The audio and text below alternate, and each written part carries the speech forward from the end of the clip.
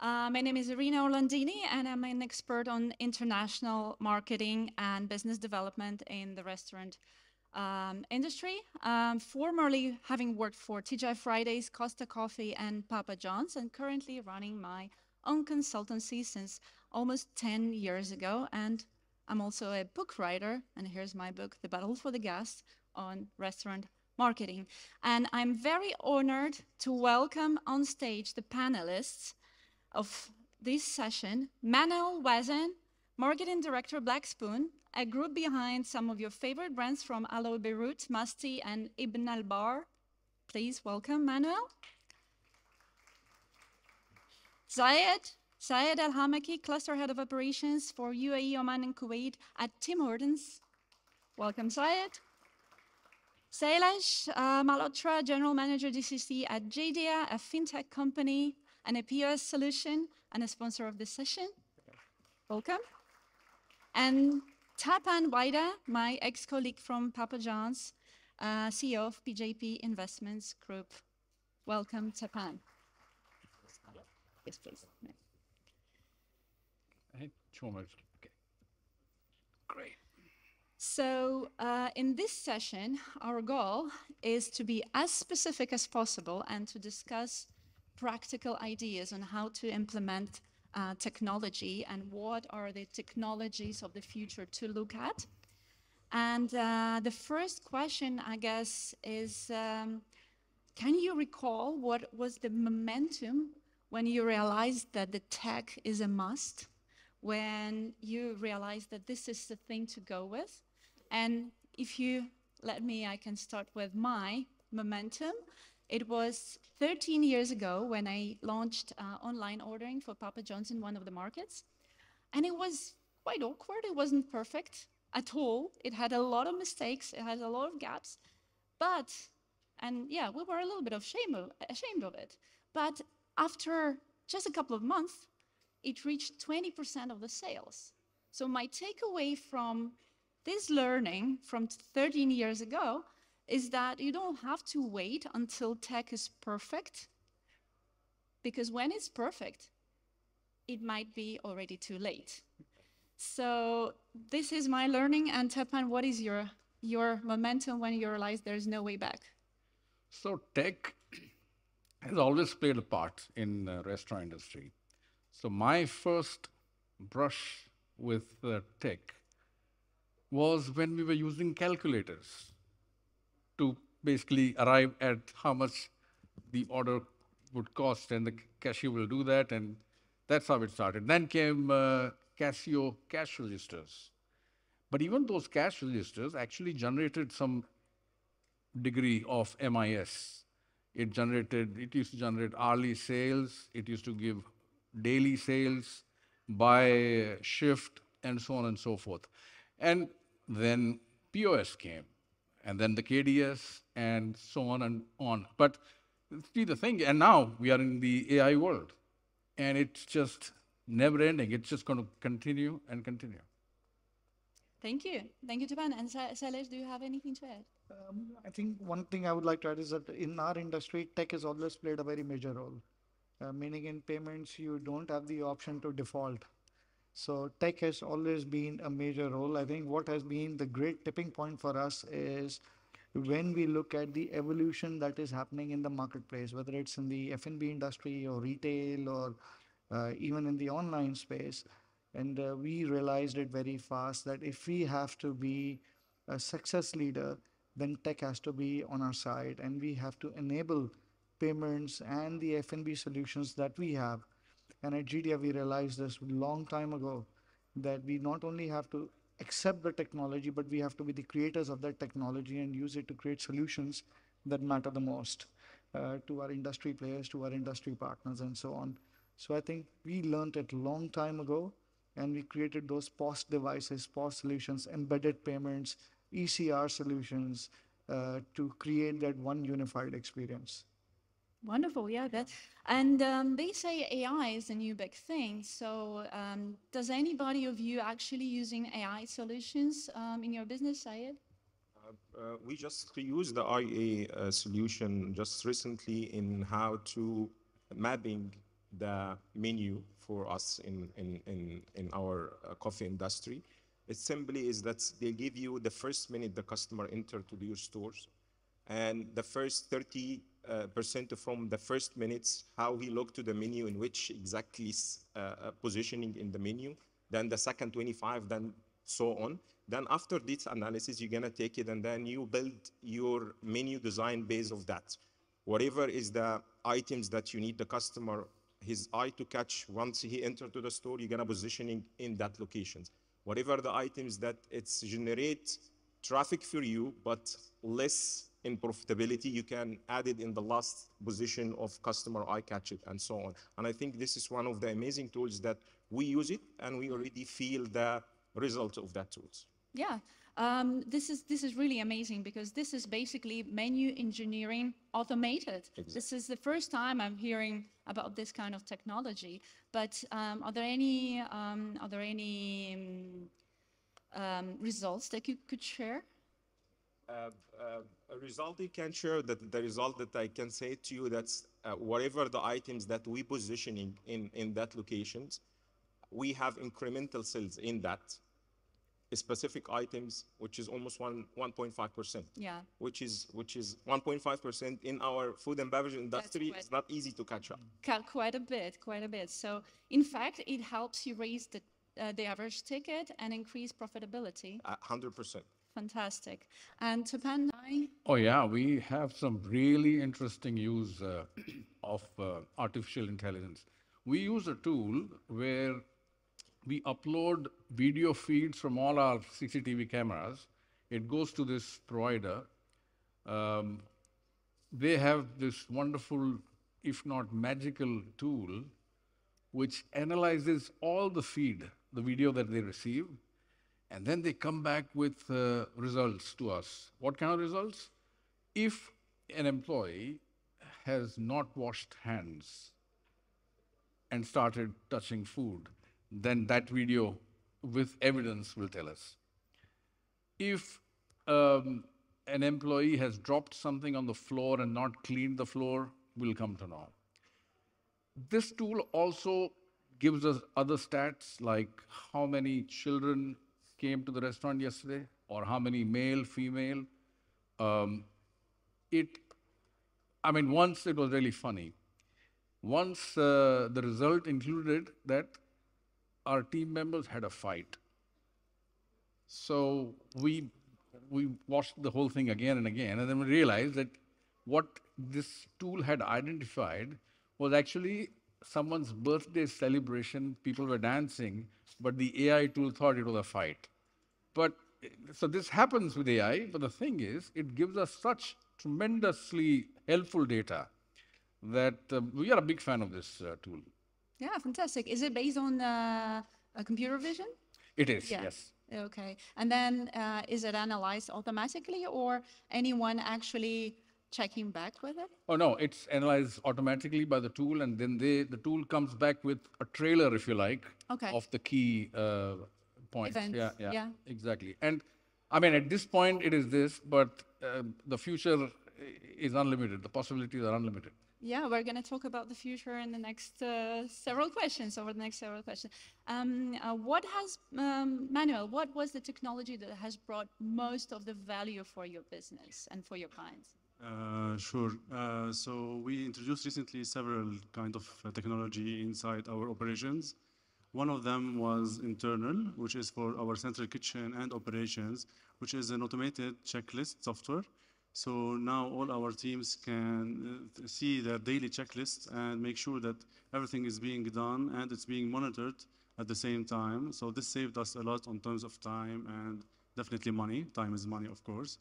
Uh, the second one, which was also recently introduced, is, is Qlub, which is a QR payment uh, tool that is available inside the stores, and people can, uh, customers can pay directly using this QR code. So this helped us actually in two ways. First of all, uh, customers have less wait time when they're ordering the check, and they can also split the bill, which is helping us and helping them as well, like in terms of splitting the bill very easily. The second is internal, which is uh, something that we noticed and we realized that Uh, the tip amount for our waiters increased by 30% actually after we introduced this uh, ser- 30%. Yes, so now everyone is happy, customers are happy, waiters are happy, and you see them like uh, they are more uh, enjoying their, their work now with the increase in tips. Uh, Fantastic, great results. And Sailesh, do you have any cases where your technology has actually brought a lot of value to your to your customer database? truckloads. Truckloads. Meaning we we can't manage without technology especially in our industry. I think uh, to give um, specific use cases where we uh, we have derived the maximum amount of value that has been the integration of payments with the POS solutions that the restaurants use right that has always been a demand. It's always been an ask. And what we have done at our end is revolutionize the POS machine from a standard billing thing, which you know, which keys in the menu and sends the order back to the uh, to the kitchen to take it a step forward to now only accept payments, bring more intelligence, um, and we have been able to resolve solutions or provide solutions like food wastage, um, you know, um, the data analytics around how much was the food consumed, what were the order types like, uh, how many orders were on cash, how many orders were on card, how many came from dine-in, how many came from takeaways, how many came in from um, uh, you know um, uh, you know uh, your your talabats uh, of the likes, um, and mixed that analytics and brought in the demographic angle to it, which was able to show where did your customers come from. Were they international customers? Were they local customers? Were they uh, users of debit cards or prepaid cards or commercial cards or international cards? So that kind of an analytics has been built around it to create a very holistic solution that when a restaurant owner is looking at his uh, at his statement at the end of the day and he looks at his dashboard, he knows exactly where his business came from, how much business did he do, what was the type of the business, and what are some of the things that he can leverage the data to improvise. Yeah. So, you know, I was hearing the previous panelists talk about food wastage and all that. A lot of them have been able to resolve this to a great extent. Um, and I think technology, especially in the F&B, today has evolved a lot. Then you have those self-service kiosks. You go punch in, and then you use a payment device. Payment device is so underrated, right? Uh, it's just you know tap your card and go, and then it's done. But fact of the matter is the information that comes from that, if that can be embedded and used along with the information that your uh, your your ECRs and your customer base is generating, that's priceless. So I think technology has played a key role. Yeah, that's a great point you just uh, made, Sailesh, because a lot of the operators have this access to the data, have these blueprints of, of their sales and customer base, but not really using it. Correct. How many do you think of your customers are actually using the data? So now that uh, when we came into the F&B industry along with our POS solution, we started creating smart dashboards. And to be honest, the restaurant owners have 50 problems to deal with. The last thing they want to look at is as a payment report. But when these dashboards have started producing smart results out of it, they know exactly what's going on. And therefore, we see a greater demand coming from the F&B for our solutions because now everybody is asking for, you know, embedded payments. Now uh, we have, uh, you know, uh, Dubai Expo as a great example where they used our solution for their Ramadan feast festival, a 14-day event, a 30-day event, and they loved it. They said we have only one device, creates the reports we want, which restaurant generated how much, and to manage a large event of 60, 65 restaurants, it gave them a lot of insights. Now, when they are doing the COP28, which which has close to 70 restaurants participating, we were the provider of choice. And hmm. we are providing them with all the reports around the payments, around which restaurant, what kind of food, how much did it happen, how much was cash, how much was this, but along with the ECR insights Yeah. right? How, small example, right? Uh, a very small example. How many people ordered the food and uh, requested for the tomatoes to be removed? It's like, really? Do people bother? Yeah, people bother because the restaurants can then do food savings in when planning for their inventory.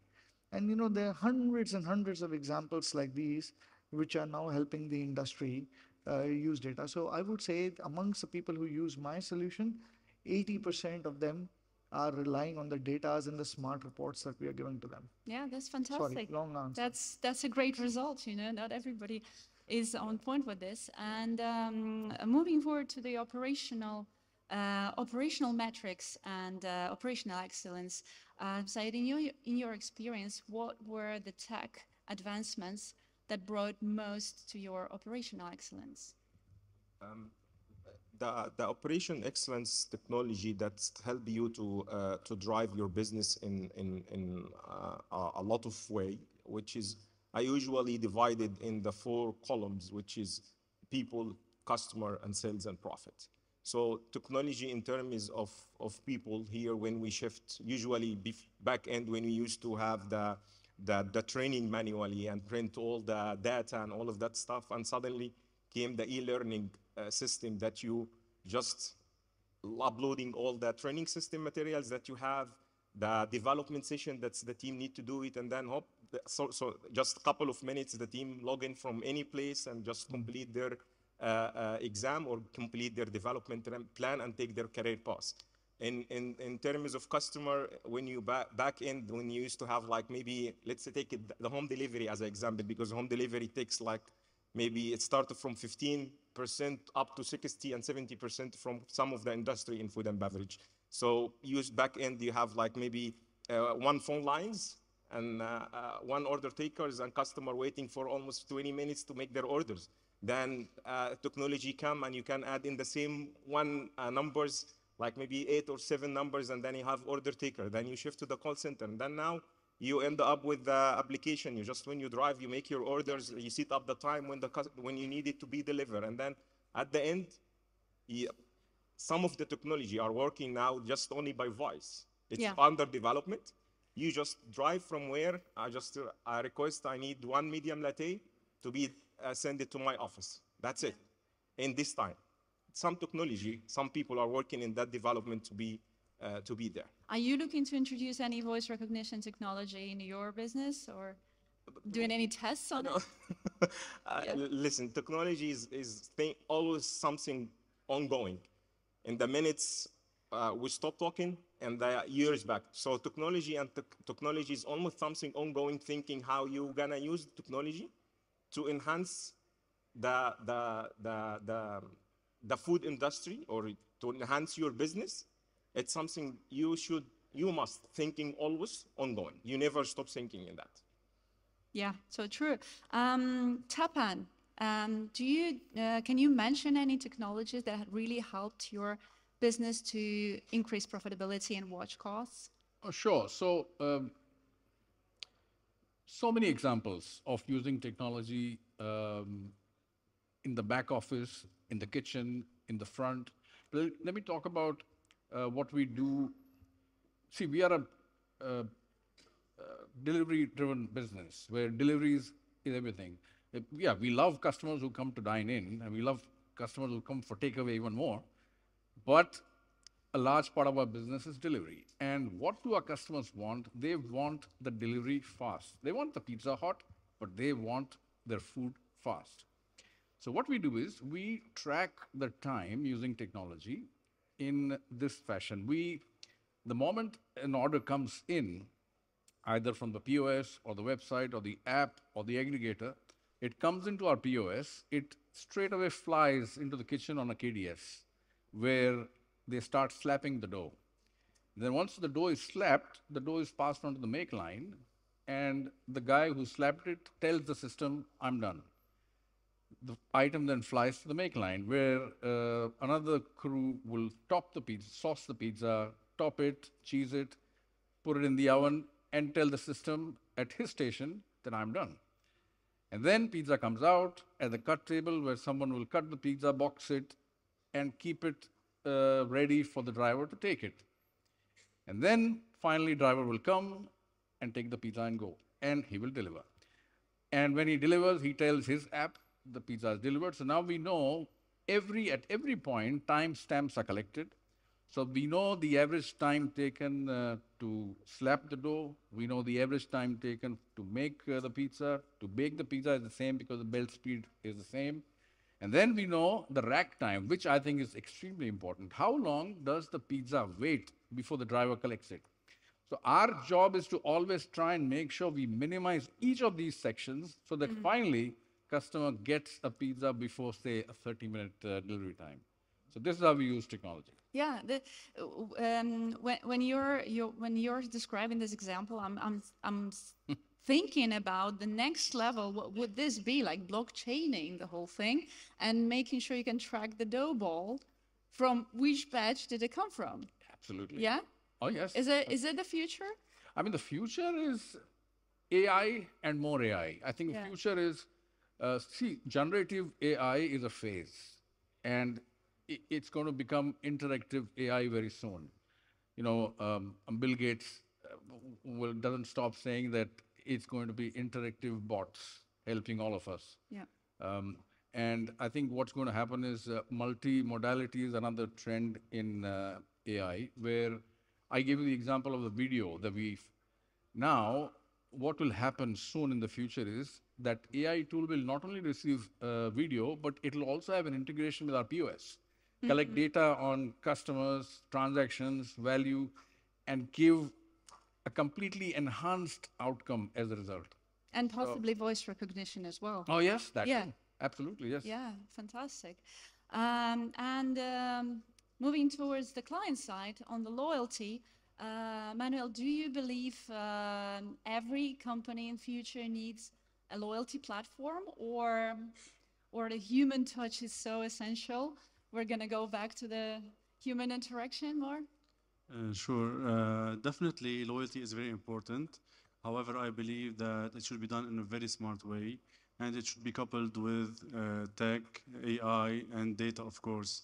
So, uh, having, let's say, a loyalty program that is backed by CRM, where not only like giving customers uh, order for 10 times and get, let's say, a 10% discount or an order for free. This has been done, and it's very basic. I believe that uh, nowadays uh, loyalty should be based on each person, it should be personalized. It should be also more interactive than this. Uh, for example, uh, customers can be invited to certain events, customers can be invited to tastings, for example, since let's say if you choose the top customers, top loyal customers, they can be part of a tasting session before you launch any new product, uh, whenever you have a new opening of a branch.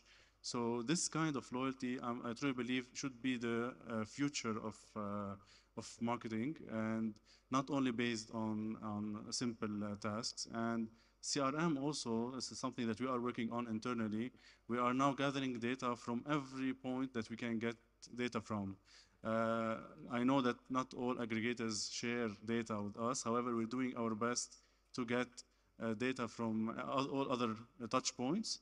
And uh, we're doing this now so that we can create a loyalty program that is suitable for our customers and based on their needs and their uh, aspirations. Yeah, so uh, in other words, the, the, the, the future is in even more personalization and customization. Definitely it is. And uh, I know the Sailesh would like to add on this. No, I absolutely agree with him uh, spot on. You know, traditionally loyalty was all about reward, right? But now uh, loyalty has taken a very different dimension where it's moving from reward to recognition. Yeah. Where the customer wants recognition when he enters the door. And loyalty plays a very critical role, not in only just driving repeat spend, but also in improvisation of the products. So, for example, uh, speaking very, very F&B like, if uh, if a certain customers prefer to their food to be served in a certain way and taste a certain way, uh, this aspect then also means that when you want to bring in food improvisation, uh, bring in a different kind of a flavor to it, it's your loyal set of customers which are going to say whether they liked it or not. And that's what keeps driving the greater push and pull into your restaurants. And same for uh, payments in Geidea. We we have been working on driving loyalty amongst our merchants for a very long time. Then the only way we can do it is by giving them more products, embedding their existing products with the newer technology and updating it. We do not believe in replacement, we believe in upgrades, right? And upgrades at a minimum or no cost. Because the moment you start taking cost for it, then you've lost half your half your base away because then it becomes a cross sell or an upsell, and that's not loyalty. The loyalty is when the same set of customer keeps getting better product just because they are associated with you. So you know, I I'm a big fan of loyalty, but loyalty not in just the form of reward, but in form of recognition and in form of future enhancements. Yeah, and um, we have a few minutes left. Uh, so a cou- couple of uh, visionary, futuristic questions to you. If you had, um, if you had an idea of a fantastic, magical tool of the future that would dramatically increase your KPIs, what would this be?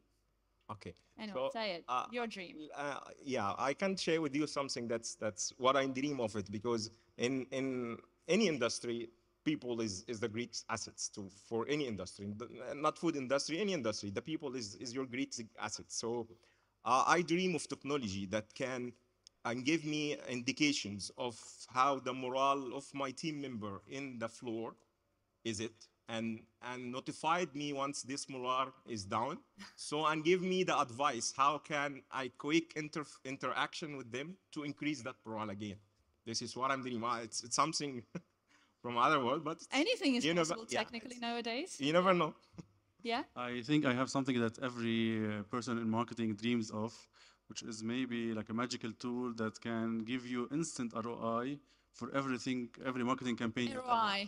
Maybe like yeah. brand awareness campaign even can be uh, like can get the ROI of uh, brand awareness of everything and instantly, so that you know how to react and what to do next in your Yeah. campaigns. This is very important. This is for the pain of every marketeer. There's so much, so much manual work. Um, Tapan. Yeah, so I believe that uh, tech must add value to the business. Tech must uh, drive efficiencies. Otherwise, it's, there's no point going for any sort of tech. But what I am currently testing is robotics. So, um, you know, during peak times, you need to turn out pizzas faster. And uh, so, to reduce saucing time and enhance the taste of a pizza. So, what happens is today we sauce the pizza using a ladle, and so it is almost never 100% consistent throughout the pizza. And so, the bite integrity in every bite, the sauce is a little different, and that's not good. So we are looking at a machine that essentially sauces the pizza for you. And this machine can do 350 pizzas in an hour. And that's Wow. like, and, and so we are testing it, it, it's working well. And if that really uh, gives us good result for a period of one month of test, I think we're going to roll with it in all our restaurants. Well, fantastic. What do you think about robots in the kitchen? Huh? no? no, from our side, no, definitely not for our kind of food. Yeah. No, so keep it human. yeah 100% I have a, I have a fantastic example from uh, UK. There's a brand called Itsu, uh, which is a Japanese uh, Japanese kitchen, and uh, the brand is in, incredibly tech. All the ordering, everything. They have no staff on the floor, n- nobody. You only order through the uh, app or or the kiosks, but they still keep their their cooks human, 100% human, and this is how they're, you know, positioning themselves. Very proud of having real food made by real people, but a lot of tech on the on the front of the house. Could this be the future? Well, in your case, we know there's there's there's more to, you know, there's more to explore, but this is fantastic. 300 pieces an hour. Yeah, I mean, see, artificial intelligence is one thing. You also need human intelligence. Yeah. And so, you know, a good blend is always a winner. All right, thank you so much. And we have uh, time for just one question from the audience. No time. Okay. Then thank you, dear panelists, Tapan, Thank you. Sailesh, Sayed, Manuel. Thank you.